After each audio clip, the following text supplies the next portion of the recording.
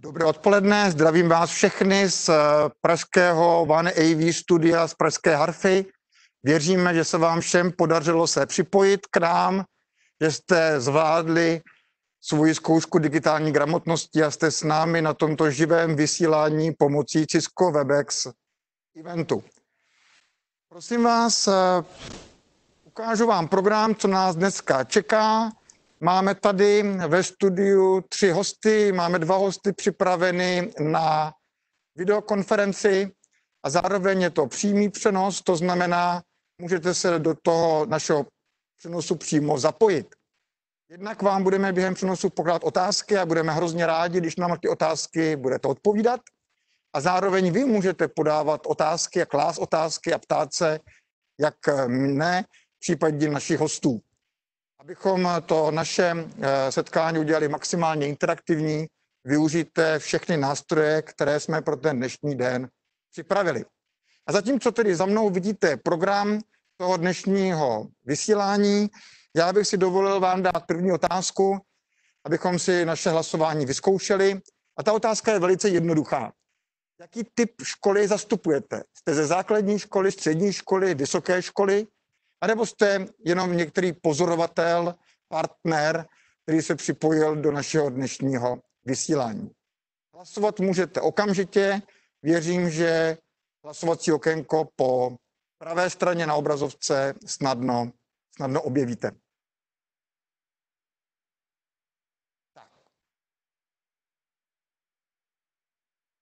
Tak a my půjdeme, půjdeme dál v rámci našeho programu. Takže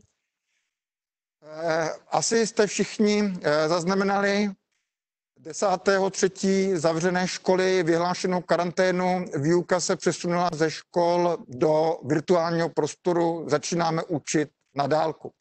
My dneska můžeme přesně říct, kde jsme byli a co jsme dělali v ten den, kdy vláda České republiky školy zavřela my jsme s našimi partnery Microsoftem, nakladatelstvím Frau, s Boxedem, Profimédií začínali jarní roučou.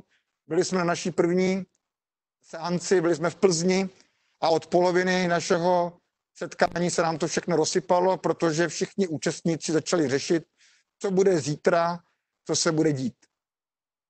A už tam jsme si začali říkat, že by bylo super být vám na blízku, pomoct vám v této nové situaci, a samozřejmě zapojit do výuky na dálku moderní technologie, kterými se všichni, všichni zabýváme. Tudíž eh, hned první den jsme všichni věděli, co se stane. Školy nám osiří, děti budou doma, a jak my si s tím popereme. Někteří zareagovali rychle, někteří zareagovali pomalej.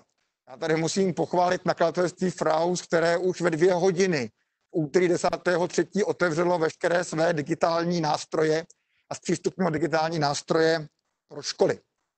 My jsme samozřejmě také začali se školama řešit, jak výuka bude vypadat. A už tady máme samozřejmě i první signály, první obrázky. A celý to dnešní vysílání je právě o tom, navzájem se inspirovat, sdílet si zkušenosti a navzájem si pomoci v té situaci, protože bereme tu současnou situaci jako velkou příležitost. My máme možnost eh, opravdu využít technologie v takovém nasazení a v takovém rozsahu, jak jsme je nikdy doposud využívat nemuseli. My jsme samozřejmě od toho druhého týdne se snažili zmonitorovat stav na školách a ptali jsme se na školách, co se děje.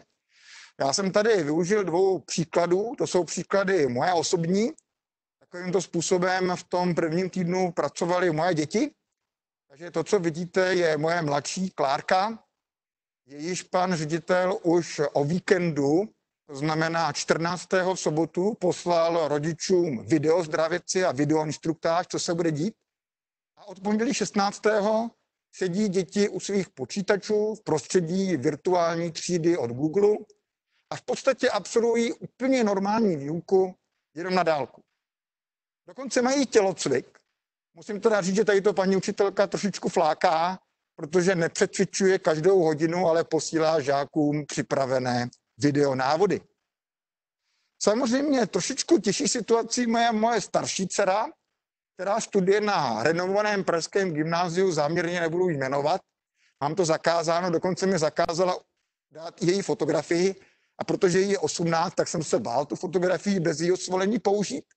A takhle vypadaly její pracovní nástroje během prvního týdne. Toto není ukázka všech digitálních nástrojů, které můžete v rámci výuky na dálku používat. Toto je jenom pracovní prostředí mojí dcery. To znamená, učitelé si vybrali Teams, Skype, někdo jenom OneDrive od Google, někdo byl ve virtuální třídě od Google, někdo otevřel Moodle, někdo znal Dropbox. To znamená, opravdu každý učitel vzal ten nástroj, s kterým měl nějakou zkušenost a snažil se pomocí toho nástroje podstatě učit na dálku. Zaplať pámbu se samozřejmě to prostředí mění, počet nástrojů se zmenšuje, ale stále je teda moje starší dcera výborným testerem pro nás, protože už se mi vyhlásili brigádu, že bude dělat eh, referáty o jednotlivých nástrojích, takže jí to samozřejmě rád zaplatím, protože si stěžuje, že karanténa nejenom jí nedovoluje chodit do školy, ale nedovoluje být s kamarády, no a samozřejmě má veliký strach, kde si vydělá na prázdniny. Je samozřejmě chudinka, ještě doufá, že nějaké prázdniny budou. Tak, že to je samozřejmě exkurs z naší rodiny, ale já si myslím, že takhle to vypadalo v celém Česku. Dostali jsme se do úplně nové situace, situace, na kterou jsme nebyli připraveni a každý se v té situaci pohyboval, jak mohl. To, co my jsme, eh, ta naše výhoda je v tom, že my jsme samozřejmě eh, výuku na dálku a moderní nástroje se snažili ve školách zkoušet, testovat a nasazovat už dávno. Tady já musím připomenout společný projekt eh, s nakladatelstvím Fraus i Microsoftem Vzdělání 21. My jsme v podstatě zkoušeli žákovská zařízení a jejich nasazení ve výuce ve škole, ale jejich využití pro domácí přípravu doma. Samotného mě překvapilo, že ten proběh bě, projekt běžel v roce 2009 až 2012 s určitým rozšířením do roku 2014, respektive 15. Jak dávno ten projekt běžel. To znamená, my jsme se všichni snažili se na tu výuku na dálku, výuku doma připravit. Bohužel dneska vidíme, že nedostatečně. To, co my jsme zjistili ten první týden, že většina škol začala využívat distribuci obsahu školní informační systémy, to znamená bakaláře, školu online, EduLab či EduKit. To jsou samozřejmě mocné nástroje, které slouží k něčemu trošičku jinému. Pro výuku na dálku je velice dobré využít klasické LMS, neboli Learning Management System, neboli školní výukový systém. No a takový systém samozřejmě v České republice máme. Je to systém od nakladatelství Fraus, jmenuje se FRED. My jsme se snažili kolem tohoto systému udělat školení a pomoct školám využívat tento systém v rámci šablon 1 i 2. Moc velký zájem nebyl, ale dneska, když jsem, nebo dneska, když jsem 12. ve čtvrtek hovořil s Jirkou Frauzem, co se děje u nich, tak kromě toho, že tedy zpřístupnili veškerý digitální obsah, hlásili naprosté přetížení, protože školy se registrovaly jedna za, za druhou do Freda. A proto já tady ve studiu vítám našeho prvního hosta. Máme tady paní Elišku Křížkovou z nakladatelství Fraus, aby nám právě o Fredovi něco řekla. Vítejte a dobrý den. Dobré odpoledne, děkuji za pozvání. Eh, je to tak, jak už jste naznačoval. Fred není žádný nováček v našem vzdělávacím prostředí. My jsme s ním přišli do školského éteru v roce 2015. Představovali jsme ho jako vzdělávací portál, kde mohou učitele najít tisíce různých multimedií, které mohou využívat prostřednictvím cloudu ve výuce. O rok později jsme do toho systému implementovali LMS, tedy nějaký systém, kterým, prostřednictvím kterého můžou zadávat úkoly a sdílet vzdělávací materiály. O rok později jsme zavedli ještě testovací modul, a přiznám se, že nás trochu zklamala ta vlažná reakce od učitelů od škol, protože jsme slyšeli spíš argumenty, proč ne, než proč ano, proč používat toho Freda. My jsme tenkrát byli také hodně zklamáni, protože si pamatujete, že jsme to připravovali společně jako vzdělávací program do šablon a v podstatě v té době si to školy nenašlo. No, ale situace se změnila v okamžiku, kdy školy byly uzavřeny a jak jste už říkal, nakladatelství Fraus bylo v České republice snad jedno, jeden z prvních poskytovatelů který nabídl školám a rodičům všechny digitální vzdělávací materiály zdarma. A ta reakce, jak jste taky říkal, překvapila i pana Frauze. V tomto okamžiku už máme téměř 12 žádostí o aktivaci Freda pro výuku ve školách, to znamená 12 škol si požádalo o aktivaci Freda. Předpokládáme, že, že se v tom systému pohybuje už asi 30 tisíc uživatelů, ale ten počet narůstá, protože každá škola si tam může vlastně přizvat všechny své žáky a všechny své učitele, takže 30 tisíc je kvalifikovaný odhad. No a v současné chvíli ve špičce používá tento systém až 7 tisíc uživatelů. Tak když se podíváme na ten systém trochu detailně, já si myslím, že bychom měli tady ze studia poděkovat Jiřímu Frauzovi za jeho dlouhodobé, za jeho vizi a dlouhodobou digitalizaci výukových materiálů, protože sice vaši konkurenti můžou dát jejich digitální obsah zadarmo, ale oni v mnoha případech nemají co dát zadarmo. Takže tady je opravdu eh, díky nakladatelství, že ta nabídka těch digitálních materiálů, a není to jenom samozřejmě Fred, ale jsou to i i učebnice, Flexibooks a ostatní nástroje, které dneska školy a žáci mohou, mohou využít. Ale pojďme se tedy podívat na Freda, jak Fred může sloužit uh, učiteli právě pro organizaci výuky na dálku. Jak už jsem předestřela, Fred eh, v sobě kloubí několik funkcionalit.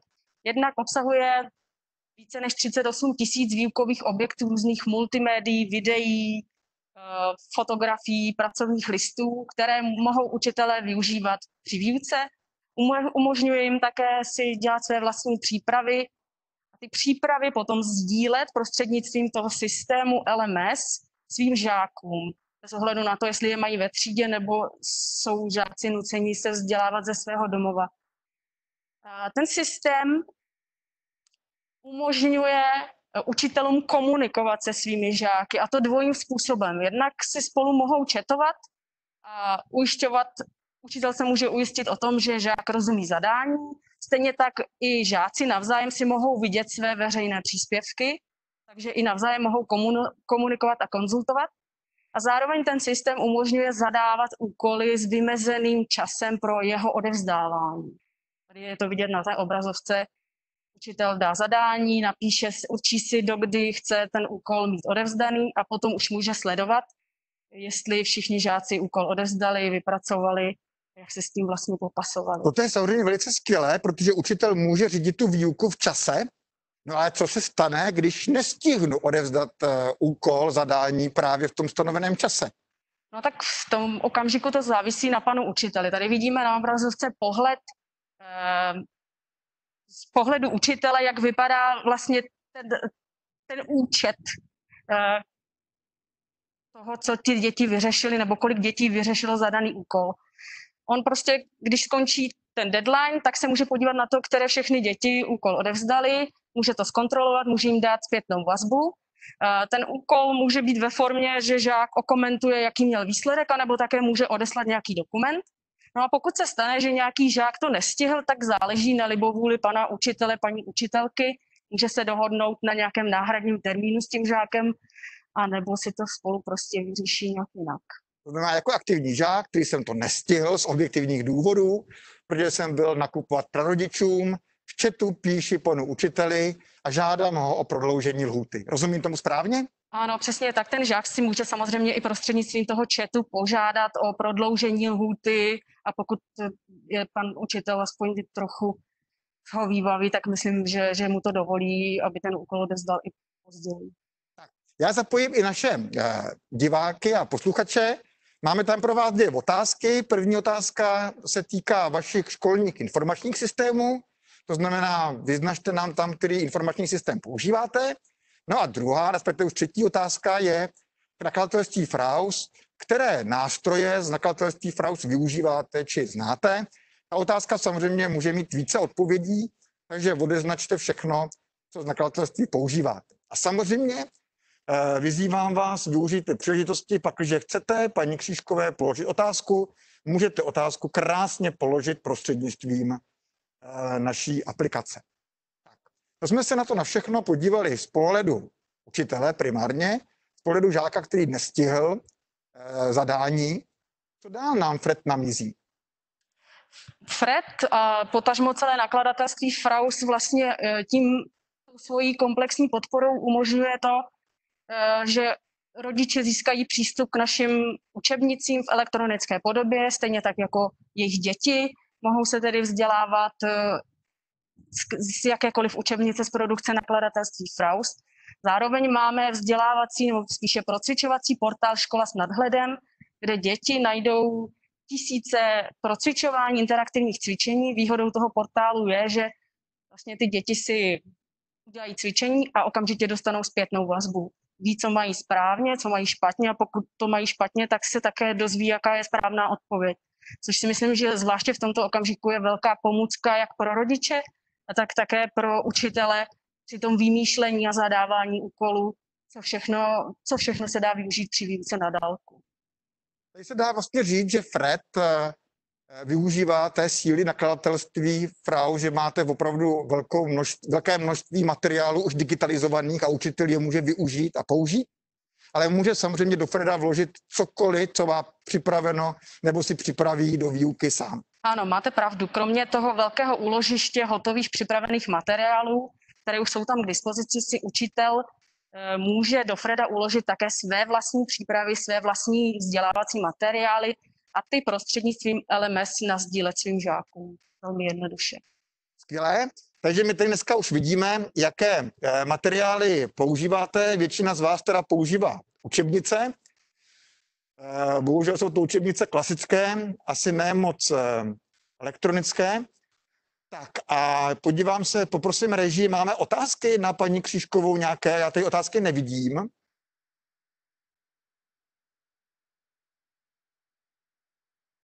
A máme tady první otázku. Je možné propojit Freda s prostředím Google? Eh, částečně ano. Eh, to prostředí je nastaveno tak, že můžete Freda propojit s Google Drive, a tím pádem si některé materiály, které mají učitelé uloženy na Google Driveu, si můžou využívat ve Fredovi, ale nedá se říci, že, že ty materiály, které poskytlo nakladatelství Fraus v rámci té multimediální knihovny, že by se daly stahovat a používat někde jinde, to už, už by asi bylo trošku v rozporu s Tak to máme napojení na Google. Za chvilku tady budeme mít Microsoft, co napojení na Microsoft s uh, OneDrivem. Je to také možné. Úplně stej, je to vlastně stejný princip. Neděláme rozdíl mezi Googlem a Microsoftem. Oba, obě tyto platformy je možné propojit s Fredem. Skvělé, výborně. Tak další otázku tady nemáme, takže my vám mnohokrát poděkujeme za návštěvu v našem studiu na Harfě. Já také a... děkuji za pozvání. Tak a ještě jednou děkujeme za uh, zpřístupnění všech materiálů českým školám a samozřejmě všichni se můžete těšit na různé návody, případně na webináře kolem eh, digitálních podkladů nakladatelství Fraus, jak už na stránkách nakladatelství Fraus, tak případně u nás v rámci veškole.cz. Děkujeme, pěkné odpoledne. Tak, to jsme se podívali, jaké možnosti má dneska eh, školní výukový systém a to přímo FRED z nakladatelství Fraus.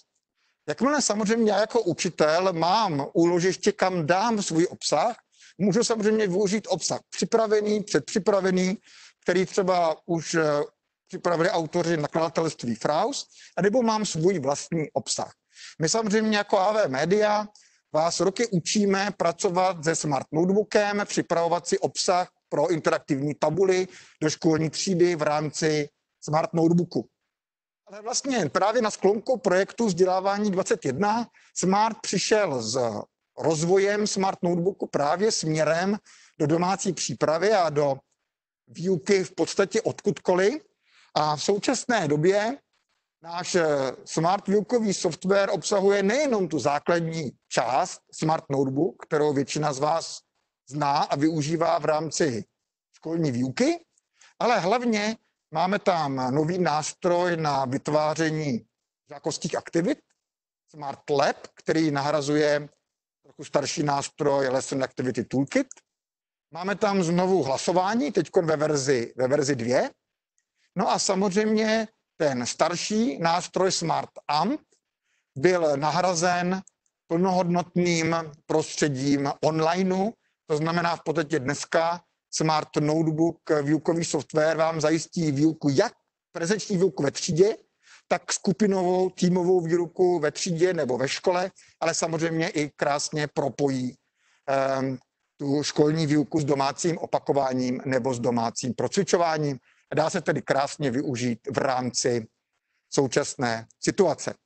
Opět eh, dopředu protýkám, eh, systém je kompatibilní a napojený na obě dvě klíčové platformy Microsoft a Google. No a kdo by vám lépe představil prostředí smart výukového softwaru než naše lektorka Hanka Uhlíková ze střední průmyslové školy Česká Lípa. Hanku tady nemáme přímo fyzicky ve studiu, je u sebe ve své třídě, takže my se spojíme k ní do České Lípy, do prázdné třídy, žáci odešli, je pátek odpoledne, paní učitelka je ve třídě sama a nazdílí nám zkušenosti, jak ona pracuje. Hanko, jsi tam? Slyšíme se? Dobrý den, jsem tady. Doufám, že stojení Ano, my tě slyšíme, my vidíme tvoji prezentaci. Vítej u nás ve studiu virtuálně. Děkuji za přivítání a za pozvání. Eh, dovolte, abych vám ukázala, jakým způsobem v současné době učili své žáky střední průmyslové školy v České Evropě na dálku. Eh, technologie při své ruce využívám dlouhodobě a velmi ráda. Dělám tady na změnu. A eh, nedávno jsem se zamýšlela nad eh, tím, eh, jak budou vlastně výukové metody, které mám ráda aplikovat v současné době. Opravdu velice ráda já i moji žáci mají skupinovou výuku, rádi si zahrajeme nějaké výukové hry, ráda zapojuju i ostatní kolegy do výuky, no a jak vidíte, online spolupráce je něčím, čím se s žáky věnuju, i když se můžeme výdat. Vlastně jsem si uvědomila, že všechny ty metody výuky můžu dělat i na dálku. No tedy nebudeme ve třídě, ale budeme od sebe něco dál. Takže například, když se zamyslím takhle nad skupinovou výukou, tak takhle to bohužel nevypadá, ale takhle už to vypadat určitě může. To znamená, že uh, máme plného učitele, který dělá všechno pro to, aby pomocí třeba právě nějakého to už zmiňovaného blogu dělal z dětí, které každé sedí u svého počítače doma, rozdělil do nějakých skupin. To všechno opravdu možné je. Ehm, já bych se tedy s vámi ráda podělila o zkušenosti eh, toho, jak eh, opravdu reálně s dětmi spolupracuji. Microsoft Teams eh, jsou nějakým naším základním rozcestníkem pro komunikaci s žáky. Četujeme spolu, sdílíme soubory, zadáváme a sbíráme domácí úkoly. Pochopitelně je také hodnotíme v neposlední řadě bych si dovolila upozornit i na důležitost online setkání. Alespoň to je něco, co děti opravdu kvitují.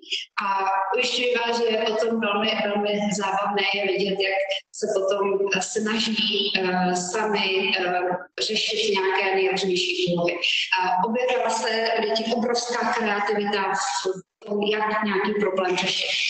Uh, Nicméně je to pořád jenom nějaké prostředí, které je do určité míry neúplně uh, plné aktivit. A já jsem se tady v tom Microsoft Teamsu dovolila přidat aktivitu, smart, které nabízí smart výukový software online. Pravdou je, že tento software používám už od začátku vlastně, co byl uh, spuštěn, co byl dán k dispozici, uh, moji žáci ho znají a teď najednou jsou velice překvapeni, že ho nepoužíváme ve třídě, ale že si opravdu sedí v klidu doma, jak jsem zjistila, většinou v posteli, ani ne někde u stolu. A komunikují vlastně spolu přes tento software. Uh, Dovolila bych si vám stručně ukázat, jak vlastně eh, to všechno funguje.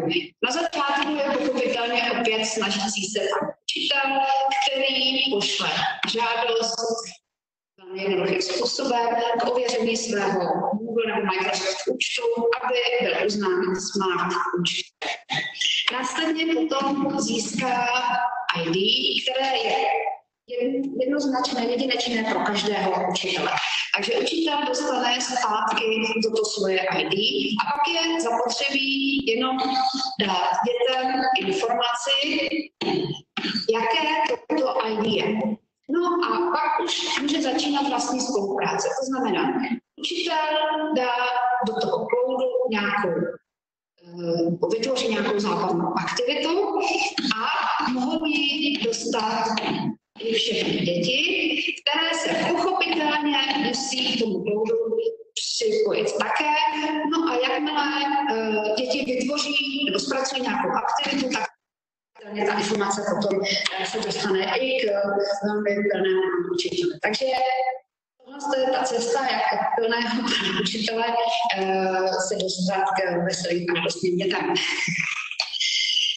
V současné době vzniká průvodce na stránkách eh, AV Media, který, si budou dávat dohromady já. Uh, je tady pomocí print screenu a jednoduchých uh, pokynů ukázáno, jak vlastně celý ten smart software rozchodit a dát ho dohromady. Co je také, myslím, velice dobré a velice zajímavé, celý ten software, celý ten systém je v současné době zdarma. Takže to by bylo k průvodci. No a já bych vám tady eh, ráda ukázala alespoň něco málo těch aktivit, které Smart software nabízí. Eh, tady můžete třeba vidět eh, obrázek aktivity, kdy eh, je potřeba rozdělit nějaké informace do dvou různých skupin. A je čistě potom na vyučující, eh, do jakých skupin vlastně chce nějaká data rozdělovat. Tady máme třeba záporná a kladná čísla, můžete eh, rozdělovat nějaké názvy na formu a flow, můžete rozdělovat chemické prvky na kovy a nekovy. To už je potom na tom, co si vlastně do té předpřipravené aktivity děláte. Uh, můžete mi říci, že no to určitě tady není pro střední školy, tady nějaké opičky a je spíš pro menší děti, ale já jsem tady připravila ukázku toho, jakou aktivitu třeba dám k dispozici já čákům. V neposlední řadě je to aktivita příšerkový kvíz nebo monster kvíz, což je aktivita, která mi opět propojí děti na dálku a navíc je tam právě ten prvek soutěživosti, prvek skupinové výuky a zároveň já jako učitel dostanu zpětnou vazbu o tom, jak vlastně děti pracovaly a jestli eh, znalost s, danou problematiku pravdou a zvládli. Eh, dovolila bych se vám ještě ukázat eh, vyloženě prostředí toho softwaru, něco se mi podaří překliknout.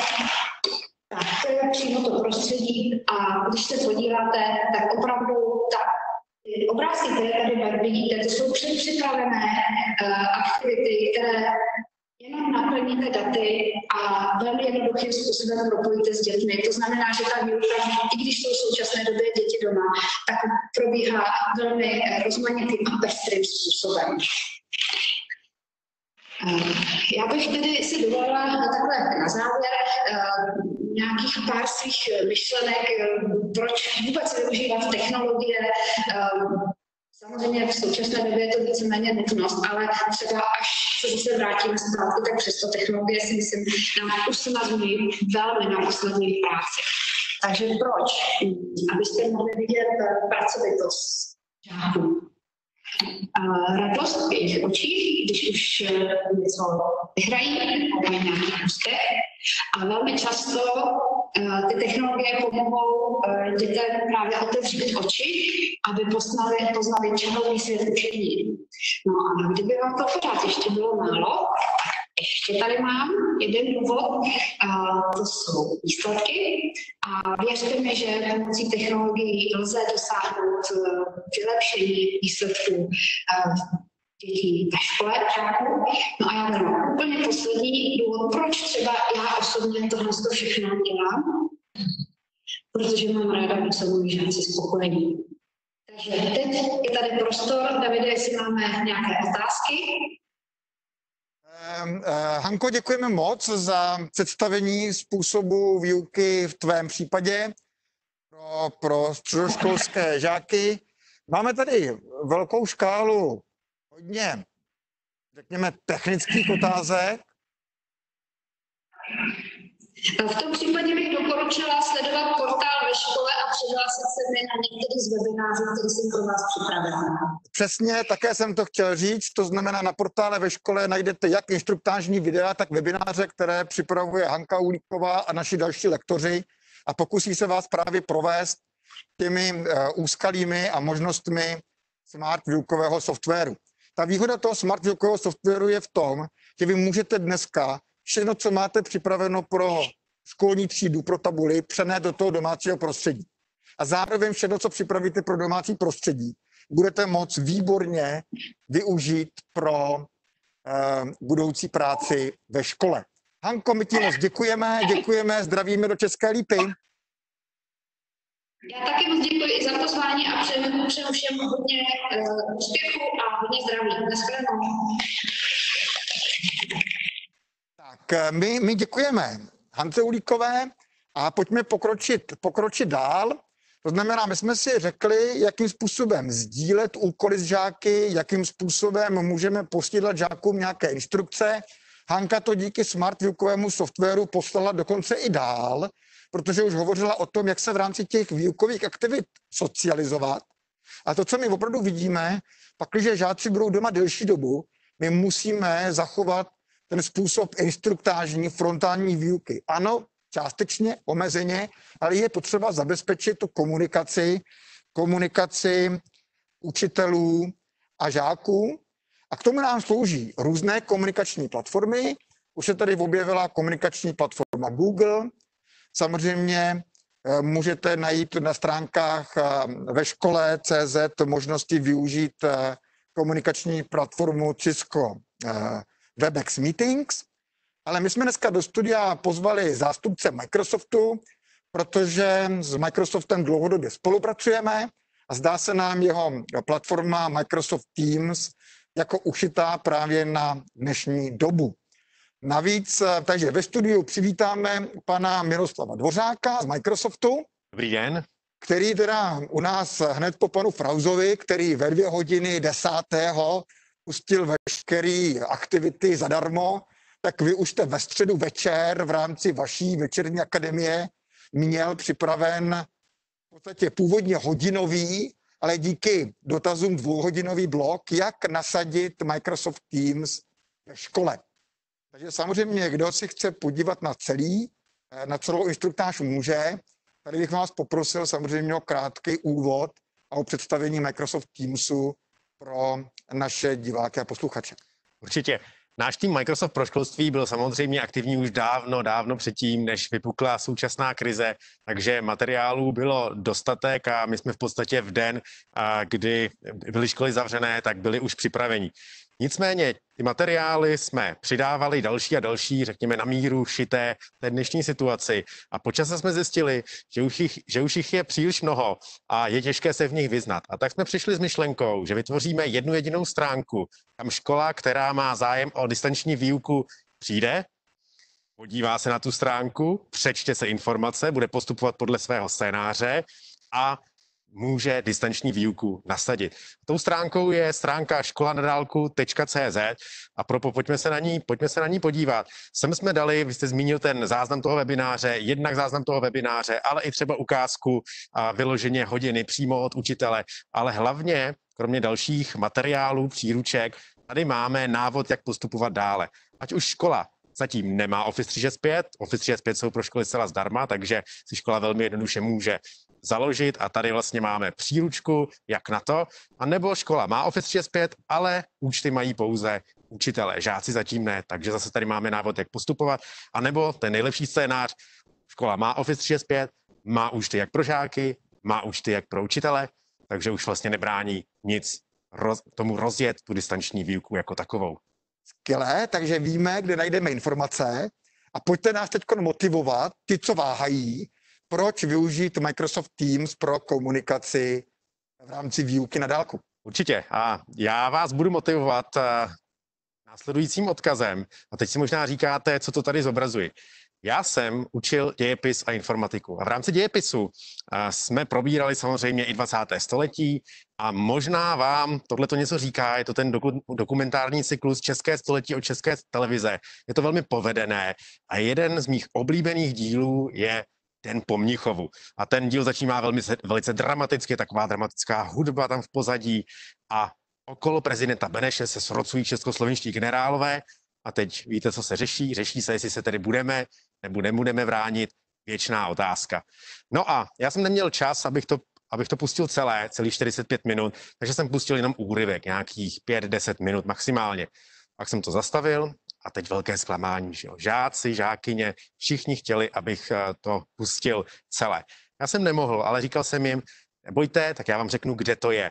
Teď asi si představíte, že otevřete si sešity a teď si začnete psát https dvojtečka lomeno lomeno úplně není ten způsob, tak jsem jim říkal, budu moderní, pošlu vám to e-mailem. Poslal jsem jim to na školní e-mail. No a kolik myslíte, že se na to pak další hodinu podívalo, nebo do další hodiny podívalo žáků? Kolik jste měl žáků ve třídě? 25. 25 žáků. No, já budu pesimista. Pět. Nula. Číslo bylo nula. Jako tak, nikdo. Jako nikdo. Vůbec nikdo z té třídy. No a tak jsem se zeptal, zklamaný, že jo, protože jsem si myslel, konečně mám tedy něco, co žáky zajímá. Proč se teda na to nepodívali? A oni říkali, no víte, my jsme, pane učiteli, nešli ani na ten školní e-mail. Proč jste na něj nešli? No, protože je to e-mail.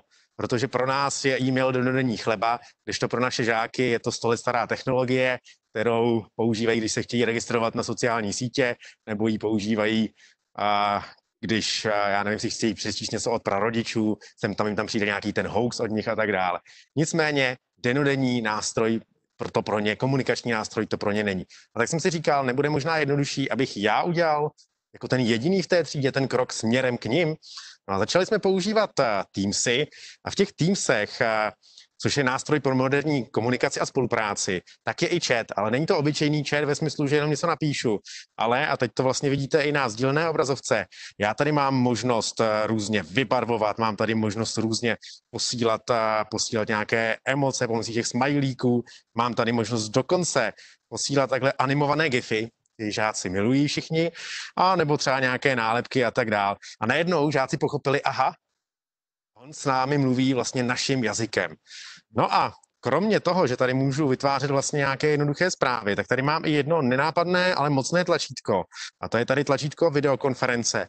Já jsem vlastně schopný v rámci týmu kliknout na ikonku kamery a v tuhle tu chvíli jsem spojený se svými žáky pomocí videokonferenčního hovoru. Můžu sdílet obrazovku, můžu sdílet soubory a tak dále. To znamená, všechny tyhle ty komunikační nástroje jsou v Teamsech integrované. Takže vy, pane Dvořáku, říkáte, že Teams, tenhle profesionální nástroj, který se dneska používá ve firmách jako ten nudný nástroj spolupráce, je vlastně designován pro tu naší nastupující generaci, že žáky baví, že je pro ně připravený a navíc teda tam je možné komunikovat obrazem, takže učitel může velice snadno udělat tu potřebnou instruktáž, prezentaci, výklad, který ta moderní výuka přece jenom někdy trochu částečně potřebuje? Ano, jsme připraveni jak na synchronní výuku, tak i asynchronní výuku. To oboje je možné pomocí Teamsu realizovat. Skvělé. Takže Teams je nástroj pro komunikaci. Je možné si tam někam i uložit třeba nějaké materiály, sdílet materiály, něco jako ukazovala paní Křížková z Freda.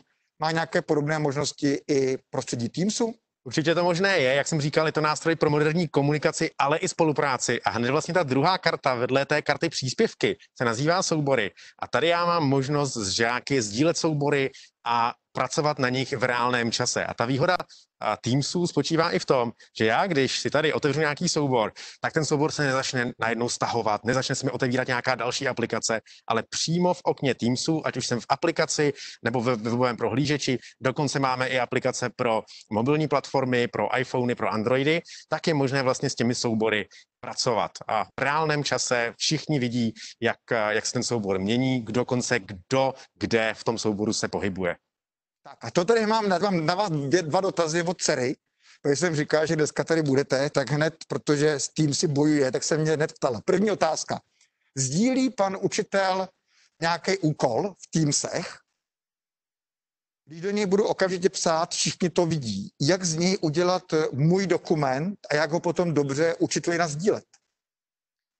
Tak eh, když já budu chtít eh, vlastně z toho udělat eh, svůj dokument, tak aby ten dokument nemohl nikdo, uh, nikdo další upravovat, Ano. a teď budu mluvit z pohledu učitele, tak tady mám vlastně rovnou připravenou složku výukové materiály a stačí, abych ten dokument buď vytvořil v té složce výukové materiály, anebo ho tam nahrál. To znamená, tady, tady ten soubor aritmetika, když dám příklad, tak eh, je tam pro žáky zobrazený, já ho můžu změnit, ale žáci mi ho měnit nemůžou. Aha, No, takže to je znamená, speciální- v této složce je to všechno zablokováno pro učitele, aby mu s tím nikdo nic neudělal. Přesně tak. Jsou to výukové materiály, které já tam nahrají, ale žáci mi je nemůžou smazat, což se normálně může občas stát. Přesně, to by se v tomhle otevřeném prostředí mohlo stát. Teď mě zajímá ta druhá věc, zlomky devátá třída a e, žáci to mají doma zpracovat a vyplnit. Musí si to stáhnout do svého počítače v rámci PowerPointu, nebo jak s tím dál pracovat? Tak tady bych to rozdělil na dva příklady. Ten první příklad je, že na tom budeme v reálném čase spolupracovat a pak opravdu ten soubor stačí dát sem a tady na něm všichni můžou pracovat. A ten druhý příklad je, že budu chtít, aby mi to odevzdávali formou domácího úkolu. A na to tady, na to tady máme speciální kartu, která se nazývá zadání. A tam pak samozřejmě ta hlavní výhoda v tom, že žáci si ty odevzdané soubory nevidí. Protože já bych si tady v souborech taky mohl udělat složku odevzdávárna a řekl bych žáci, nahrávejte mi sem soubory. Ale pak by se je navzájem viděli, mohli by se je dokonce navzájem mazat, což samozřejmě nechceme. A právě proto tady máme možnost vytvořit zadání, to znamená nějaké odevzdávání domácích úkolů. A v tuhle tu chvíli já si tady můžu nastavit, co mi vlastně budou odevzdávat, můžu sem nahrát nějaké pokyny a žáci mi odevzdávají vlastní kopii svého, svého nějakého souboru nebo mého souboru. Skvělé, výborně, takže já vím teda, že odpověď pro dceru mám na 45. a 47. minutě. A ještě teda mám jednu otázku. V rámci příspěvků probíhá komunikace učitele ze žáky. Ano, je to tak. Je možné udělat jakoby soukromou komunikaci mezi žákem a učitelem, protože nechci třeba se na všechno zeptat, aby to všichni viděli. Můžu teda udělat tady tu soukromou komunikaci? Určitě žák může být plachý a je to vždycky na učiteli, aby tohle, uh, tohohle toho scénáře se nějakým způsobem zhostil v hodině. A tady samozřejmě je to online prostředí, ale máme tady na to speciální tlačítko. Přímo vlevo nahoře tady máme tlačítko chat a tady já si vyberu, komu budu chtít uh, napsat příslušnou zprávu a komunikuji už jenom s tím daným žákem a on komunikuje se mnou. Nikdo další do té konverzace nám nevidí. A řídí to učitel, nebo si tedy můžou žáci udělat v rámci výuky nějaký svůj vlastní chat a pochechtávat se tam a vy o tom nevíte? Tak eh, je to možné zřídit, žáci si mezi sebou můžou domlouvat. Já doufám, že to nebude o tom, že se budou pochechtávat uh, učitelům za, zá, za jejich zády, ale samozřejmě žáci si můžou domlouvat v rámci nějaké studijní skupiny, aby vytvořili nějaký společný projekt a tak dále. Takže žáci tuhle tu možnost mají, ale můžou samozřejmě oslovit i samotného učitele, anebo naopak učitel může proaktivně oslovit konkrétního žáka, anebo skupinu žáků. Ona totiž ještě je druhá možnost, a to sice, že si v rámci týmu tady můžu vytvořit takzvaný kanál, ten kanál, do toho kanálu pozvu pro spolupráci jenom určitou část té třídy, takže budu mít třeba nějaký školní projekt, bude na tom spolupracovat pět žáků ze třídy, takže pro ně si vytvořím ten kanál v rámci toho svého týmu a tam uvidíme, tam se dostaneme jenom my, nikdo další vlastně z té třídy to neuvidí. Super, takže vlastně přes ty kanály vy můžete krásně vytvořit uh, ty projektové týmy nebo skupiny, ano. o kterých mluvila Hanka Ulíková a ty pracují potom separátně a jenom učitel to řídí a nějakým způsobem tak. sleduje. No skvělá, skvělá upoutávka na Microsoft Teams. Já jestli můžu, ještě, dodal bych ještě jednu poslední Určitě. věc. A to sice v těch zadáních, my jsme se celou dobu totiž bavili o souborech, ale já si tady můžu vytvořit i písemku, která se sama opraví. A to se děje pomocí Formsů. Měli jsme vlastně nedávno teď webinář na Formsy, to znamená, že těch témat nebo těch zdrojů, jak se s Formsy naučit pracovat, je dost. No a když si sem vložím nějaký tedy formulář z těch Formsů a mám tam uzavřené otázky, anebo třeba jednu, dvě otevřené otázky, tak můžu jednoduše s tím testem pracovat, zadat ho žákům a oni, žáci, už potom vlastně jenom vyplní ten test a rovnou můžou mít zobrazené výsledky, případně si já jako učitel jenom doopravím nějaké ty otevřené otázky, ale všechno se mi dopočítá automaticky, což je důležité, protože to poslední, co bychom asi my jako učitelé měli dělat, je, že budeme někde strojově počítat nějaké, nějaké body a dávat za to známky. Když to může zpracovat stroj, ať to stroj zpracuje.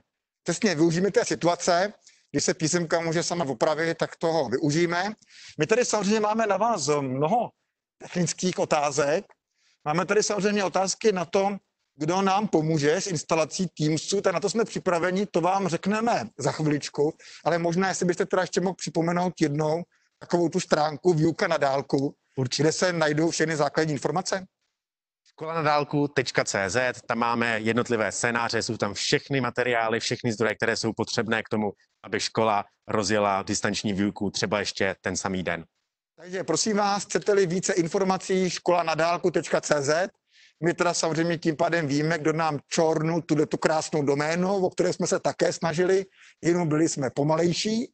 Pane Dvořáku, vám moc děkujeme za upoutávku do Teamsu a já myslím, že se můžete inspirovat v rámci školy na dálku. Samozřejmě, pakliže eh, byste chtěli znát třeba konkrétní zkušenosti v práci s, s platformou Office 365 či s Microsoft Teamsem. My jsme na dnešní den pozvali dalšího vzdáleného účastníka. Máme tady pana Petra Veselého, ředitele eh, střední průmyslové školy v České Lípě.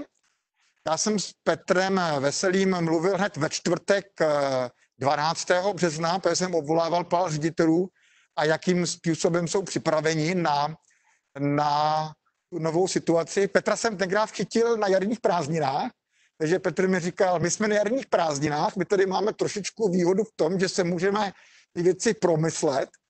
Už tenkrát slyšel o právě té přednášce Mirka Dvořáka, tak protože to je Microsoftí škola, tak říkal, na to já se podívám večer, abych v pondělí udělal s eh, kolegy poradu a řekneme si, jak budeme pracovat. Takže Petře, jaké jsou vaše zkušenosti po dvou týdnech v karanténě, respektive po dvou týdnech výuky na dálku? Takže dobrý den eh, všem, ahoj Davide. Eh, je to přesně tak, jak eh, si říkal, zachytil jsi mě na jarních prázdninách. Musím říct, že pro nás, minimálně pro mě, to byla relativně docela veliká výhoda, protože jsem tam měl ten prostor, že jsem to nemusel řešit z hodiny na hodinu, respektive ze dne na den. Bylo možné si některé věci promyslet a připravit tak, aby potom ten start byl snažší a nemuseli jsme řešit několik slepých uliček a mohli jsme se rovnou vydat po té cestě, která, která funguje. My jsme eh, dlouhodobě už uživateli Office 365, eh, v rámci Microsoftu. S Microsoftem spolupracujeme. Musím říct, že ta spolupráce funguje výborně. Teams je jako takové jako jeden z produktů celé té skupiny Office 365 eh, se samozřejmě vyvíjí už delší dobu. Já spolu s některými kolegy je používáme i v rámci klasické výuky, takže musím říct, že v tomto směru pro mě ta volba na ty Teamsy byla jednoznačná. Jednak protože to licenčně máme vyřešené, máme ty nástroje, tak proč jít, proč jít někam jinam. Na druhou stranu samozřejmě tato situace nám přinesla spoustu otázek toho, co a jak, jak to nastavit z hlediska vůbec základních pravidel fungování té klasické výuky jako takové a pak samozřejmě všechno spojené s Microsoft Teams. To znamená, že ode mě když jsme se sešli na poradu, aby jsme vyřešili co a jak, tak jedna věc byla nepřekročitelná a to, že půjdeme cestou Microsoft Teams, kterou já jsem jako ředitel nastavil napevno z několika důvodů, k tomu se dostanu, a potom to samozřejmě bylo vůbec o těch pravidlech a o, o proškolení toho týmu, protože samozřejmě tak e, jako já a všechny školy, tak máme v našem týmu spoustu výborných e, kolegů a učitelů, ale ne každý úplně prostě využívá veškeré IT prostředky všechno. A každý má své metody, každý je svůj, uh, jakby sám za sebe, svoje vlastní osobnost, má svoje postupy a, a to je něco, co si myslím, že v tenhle okamžik se nemělo překračovat. To znamená, že od nás ta varianta šla tak, respektive ode mě, že my Microsoft Teams budeme používat uh, jako ten komunikační a předávací nástroj, aby jsme to měli sjednocené a bylo to po žáky, pro, pro žáky přehledné. Uh, aby nenastalo přesně to, co ty si říkal na začátku uh, s tvojí dcerou, kde prostě každý komunikuje nějak jinak a dcera se v podstatě stala pokusným králíkem, což byla situace, kterou právě já jsem nechtěla, aby nastala. Takže jsme na pevno nastavili, eh, že pojedeme jenom přes Uh, nastavili jsme, jak budou vypadat ty týmy, jak se budou zakládat, kdo bude jejich účastníkem. To znamená, napevno jsme i nastavili, že třeba já se zástupkyní jsme členy každého týmu, aby jsme viděli, jak to celé funguje, mohli pomoct ať už technicky, organizačně, nebo řešit zpětnou vazbu k rodičům, když se nás na něco dotazují, jak to běží, neběží, aby jsme rychle nemuseli nahánět toho člověka, můžu si i já otevřít ten konkrétní tým a tak dále. Tak tomu jsme si proškolili všechny kantory, to znamená, udělali jsme si jednoduché školení, eh, kde jsem projel ty nejdůležitější funkce, aby to fungovalo, eh, naučit ty lidi co a jak. Zřídili jsme si k tomu jeden tým pro sebe, kde máme i kanál právě jako helpdesk, takovou pomoc, kde si s kolegy eh, čatujeme, vysvětlujeme, děláme videonávody, jak mají něco udělat, když něco nejde. To bylo z pohledu týmu. A potom jsme si nastavili druhou velikou oblast a to byly mantinely a pravidla, jak se, jak se budeme chovat vůbec v této době, jak budeme učit, jak budeme běhat. Takže tam já jsem nastavil jasná kritéria, jasné mantinely a naopak v těch mantinelech uh, jsem dal volnost těm učitelům, protože si myslím, že není nic horšího, než kdyby každý ten učitel v této době uh, najednou začal za sebe dělat něco jiného, než je. A chtěl jsem po nich, aby vlastně dál fungovali tak, jak jsou zvyklí, jenom vlastně online díky, díky těm Teamsům. Uh, musím říct, že za těch uh, v podstatě 10-14 dní, co to běží, tak uh, jenom vidím, jak to krásně přibývá. Sám, sám dávám zadání úkoly ve, ve svých hodinách, takže musím říct, že ty Teamsy úplně super. Funguje to perfektně, víceméně i nějaké drobné technické zádrhely, které byly na začátku, uh, což je samozřejmě pochopitelné, protože ty nápory na servery Microsoftu a Google musely být naprosto enormní, tak během pár dnů se to uklidnilo, funguje to už bezvadně. Spousta těch žáků i učitelů si našla takovou tu svoji dobu, svoji cestu a vlastně dneska realizujeme jak asynchronní, tak synchronní výuku, jedeme online, offline, funguje to, funguje to minimálně z mého pohledu fakt dobře. Takže skvělý, díky moc za sdílení vaší zkušenosti. Dva dotazy. První, takže vy používáte Teams jako komunikační platformu a zároveň pro sdílení ano. podkladů a materiálu. Rozumím tomu správně. To znamená přesně, jak to pan Dvořák ukazoval v obě dvě ty stránky.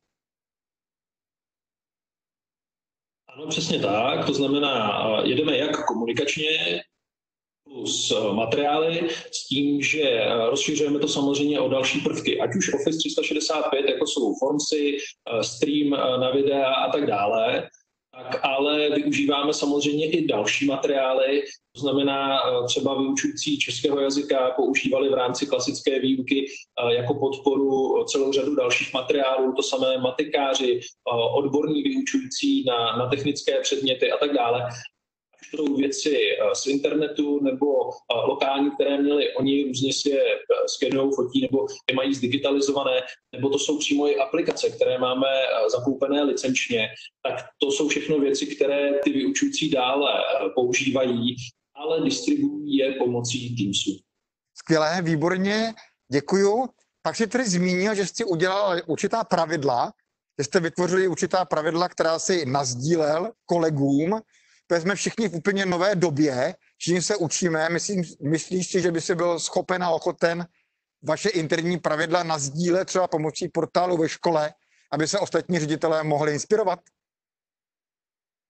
Eh, určitě vůbec s tím nemám problém, rád budu sdílet naše zkušenosti, eh, stejně tak se i rád eh, přiučím zkušenosti jinde, protože každý, každý den s tím řešíme různé neduhy a plusy, mínusy, které je potřeba nějakým způsobem eh, vyřešit a posouvat.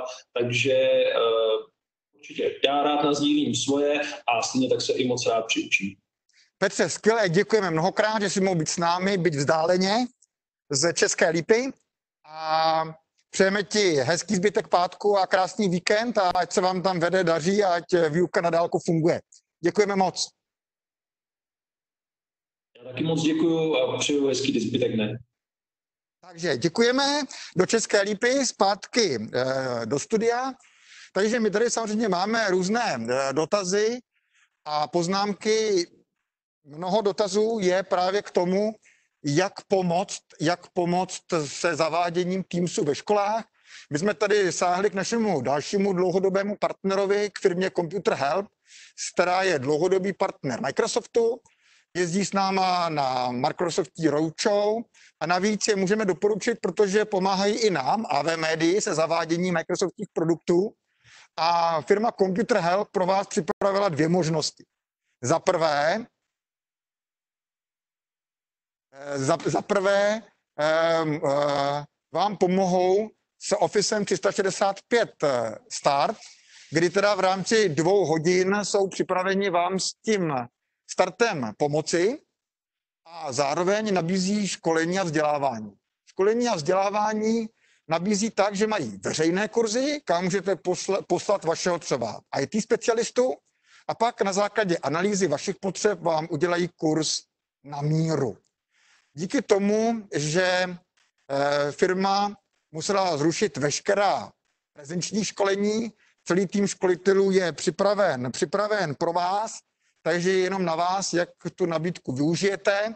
Kolegové s námi ve studiu nejsou, jsou ve, své, ve svých home officech, v domácích kancelářích a čekají na kontakty od vás, ru, ruce, ruce na klávesnicích, telefon u ucha a jsou připraveni, připraveni vám, vám pomoct a pomáhat. Tak a další dotazy, které tady máme, jsou o tom, měli jsme zkušenosti z České lípy, měli jsme zkušenosti ze střední školy, tam se to samozřejmě zavádí v úplně jiném prostředí, digitální generace, eh, technická škola, eh, digitálně gramotní žáci, digitálně gramotní učitelé. Takže pojďme se podívat, jak to vypadá na základní škole. A já tady vítám už našeho dalšího hosta. Máme tady Evu Holou, zástupkyni ředitele školy eh, z základní škola Ratibořická, my to říkáme z Prahy, ale jsou to horní počernice. Takže Evo, jak to probíhalo, prosím tě, u vás? Poděl se s náma o vaše zkušenosti. Tak dobré odpoledne všem. Eh, já musím říct, že ten začátek u nás byl velmi hektický a velmi chaotický. Nicméně, když eh, se nám podařilo se trošičku sklidnit, zavnímat vážnost situace, tak jsme si řekli, že bude potřeba vymyslet eh, něco, s čím seznámíme jednak učitele a s čím nezahltíme zrovna rodiče. Eh, narazili jsme okamžitě na problém, že naši žáci neměli žádné e-mailové adresy a tím pádem eh, se nám všechno dělalo hůř, ale měli jsme komunikační systém přes bakaláře. Musím říct, že bakaláři zareagovali úplně úžasně, protože vydali několik aktualizací, takže od prvního okamžiku všechno fungovalo úplně perfektně. Umožnili sdílení nějakých dokumentů, samozřejmě ty věci už tam byly dříve, ale nikdy jsme je nepotřebovali takže jsme se s nimi nově učili. Tak to byla taková první cesta. No ale pak, když jsme si uvědomili, že ta situace bude trvat déle, než, eh, než jsme si dokázali vůbec uvědomit, tak jsme zjistili, že asi nevystačíme pořád jenom s opakováním a bude potřeba občas něco vyložit a podobně, tak jsme začali přemýšlet, jak na to. První kruček bylo, nakoupili jsme webové kamery, aby každý učitel mohl natočit krátičké videíčko. No a druhý krok byla nějaká platforma. Původně jsme začali vy, uvažovat o tom, že zřídíme mudlovskou učebnu, protože řada z nás měla, měla zkušenosti třeba z vysokých škol, kde se tohle prostředí využívá. No ale když už byla učebna skoro hotová, tak jsme narazili na stejný problém, jako by nás čekal v googlovské učebně a to, že jsme neměli ty e-maily žáků. Takže ve spolupráci s panem učitelem informatiky a s naším správcem sítě jsme se pustili do práce. Zřídili jsme všem dětem e-mailové účty. No a uh, pan učitel informatiky natočil krátká vidíčka o tom, jak pracovat s Google učebnou. Opravdu to tam máme až úplně od toho prvního spuštění, od přihlášení se do nějakého kurzu až po výrobu nějakého výukového materiálu. No a v pondělí jsme sezvali naše učitele do školy, sezvali jsme je po eh, menších skupinkách, aby se nám tam nesešlo 30 učitelů najednou. No a měli jsme kratičké školení, za prvé o tom, jak nahrát video právě pomocí třeba smart notebooku, tak aby to pro učitele bylo velmi jednoduché, protože nikdo z nás nechtěl natáčet video učitelů, ale potřeboval hlas a to, co se odehrává na interaktivní tabuli. No a e, další část toho školení se věnovala právě Google učebně. To školení trvalo zhruba dvě hodiny a podle reakcí učitelů všichni odcházeli s tím, že věděli, jak vytvořit kratičký učební materiál a jak si vytvořit test, kterým děti otestují. Myslím si, že e, to zafungovalo úplně super.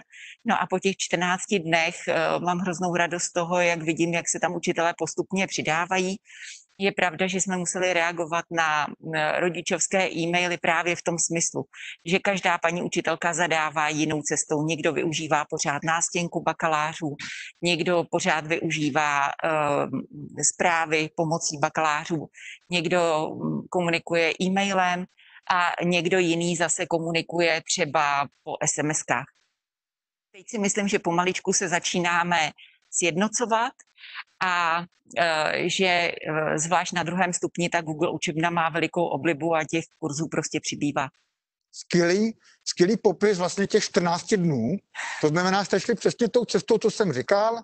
Nejdřív váhání, bakaláři máme je, použijeme je maximálně. Ano. Bakaláři stačit nebudou, co uděláme dál.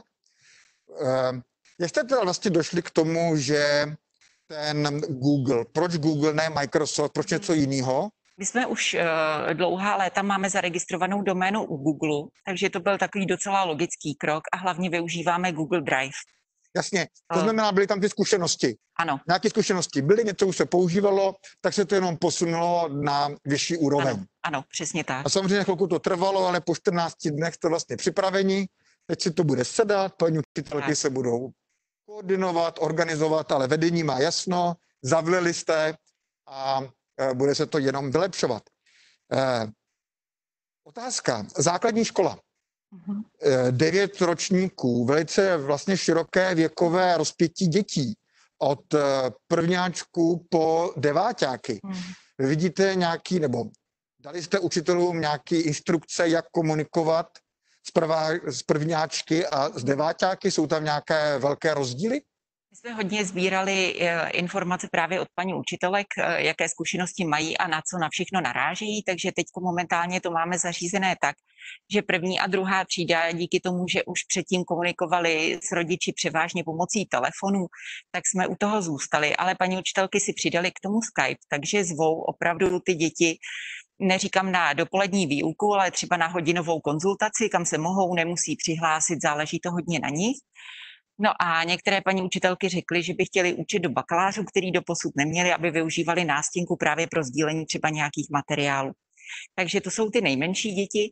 Na prvním stupni potom eh, je ta situace maličko jednodušší než na druhém stupni, protože jsou tam většinou jedna až dvě paní učitelky, které velmi snadno si domluví ten komunikační kanál, které budou, který budou obě dvě využívat. No a na tom druhém stupni se opravdu snažíme přejít uh, na Google Classroom. Uh, samozřejmě u někoho to jde velmi snadno, u někoho to chviličku trvá, než na to přistoupí, ale myslím si, že se nám to podaří. No, ono to vypadá tak, že to současné prostředí, ta situace, pomůže i těm váhavcům, aby se s tím naučili pracovat. Ano. Takže naše školství se díky té situaci, kterou tady máme, konečně zdigitalizuje. Eh, Evo, díky moc, díky moc za sdílení zkušeností ze základní školy, ze základní školy Ratibořická v Horních Počernicích. Děkuji, že jsi byla s náma. Eh, pěkné odpoledne, krásný víkend.